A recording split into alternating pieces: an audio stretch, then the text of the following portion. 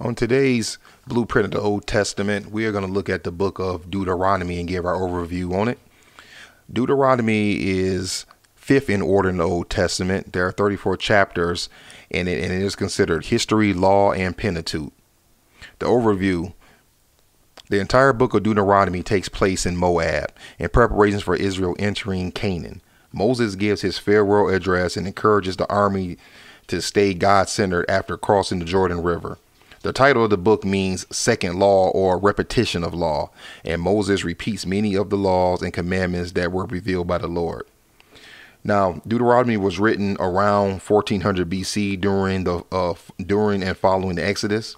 The time period covered is 1450 to 1400 BC, and the author is Moses and unnamed scribes.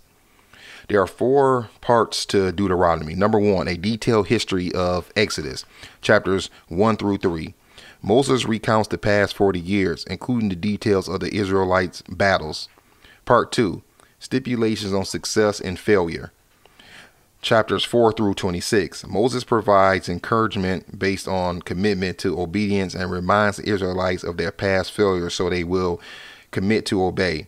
He warns of superstitions, false gods, and practices of other nations. He provides instructions for kings in case Israel decides to have one. He also prophesies of Jesus Christ and tells the Israelites how to identify a true prophet.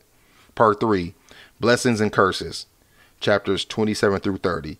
Moses emphasizes the importance of being faithful to God's ways and the Lord's promise to make Israel a great nation. He also reveals the blessings for following the Lord's commandments and the curses for disobedience.